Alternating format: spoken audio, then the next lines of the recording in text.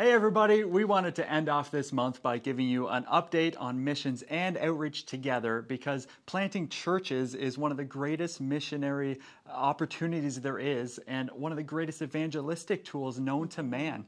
And Impact Church Kingston has always been at our heart uh, to plant churches here in this nation and maybe even further. Who knows what's coming on down the road?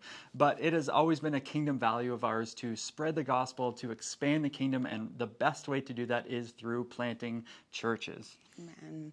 And as you know, we've been on this journey for Impact Church Cochrane since the beginning of 2023, and it's really only ramped up since then. Um, but we wanted to give you a bit of an update about what's been going on behind the scenes as we prepare for what's ahead in Cochrane. So, though you may not have seen us doing a lot in the natural on the outside, on the inside, we've been working like crazy. There's been a lot of behind the scenes stuff. We've been working on uh, financial systems and structures, discipleship plan, leadership pipeline, uh, evangelism strategies, and really what Impact Cochrane's going to look like. Uh, thankfully, it's going to look a lot like Impact Kingston because it's such a good thing. We want to duplicate it. So, Amen. whenever you guys come to visit, just know that it's going to look a lot like home. Uh, we've also been trying to figure out what all the structures look like from the inside and getting hands-on experience of what systems and structure looks like outside in Cochrane. Yeah. And I've actually been continuing to look at some of the different ministries, including Kids Church, what it's going to be like to actually establish a worship culture, not just carry it on, but establish it mm-hmm. at Impact Church Cochrane, uh, as well as we are putting together a group of prayer warriors, an mm-hmm. intercessory team that can cover this church plant because we know that it's not just our efforts, it has to be God who's yeah. doing the work.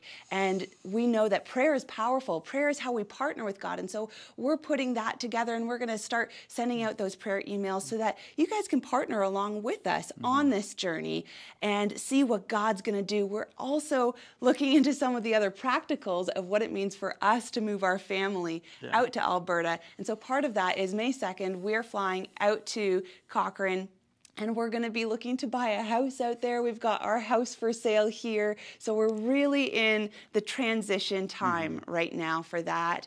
We're also just looking at other logistical things like signing our kids up for school and daycare out in Alberta. What does that look like? Who are the different contacts out there? As well as when it comes to the ministry outreach side of things, we've been looking at how do we partner with some of the different social services out there? What's mm-hmm. going on? What does the community look like? How can we partner with that? Where can we look for different outreach opportunities? Those are some of the things that uh, I've personally been in, in conversations with Pastor Sandra about working together with And looking at how do we um, how do we make what we do here in Impact Kingston also work for the community of Cochrane and different networking opportunities that may come up there as well. But we just want to thank you guys so much for your support, for your encouragement, for your prayers. It means the world to us as we go on this crazy journey that God has led us to in planting a church halfway across the country. We look forward to hopefully seeing you guys there for a visit.